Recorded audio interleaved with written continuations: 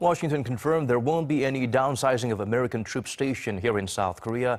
The decision was announced in a meeting to prepare for the signing of the 10th Special Measures Agreement. It should dispel such rumors that surfaced after the reports on the matter by the New York Times on May 4th. Seoul's foreign ministry explained the result of the third meeting for the SMA. Washington has no plans to change the size or character of the U.S. Forces Korea. That instead, America's security pledges to the peninsula was reaffirmed.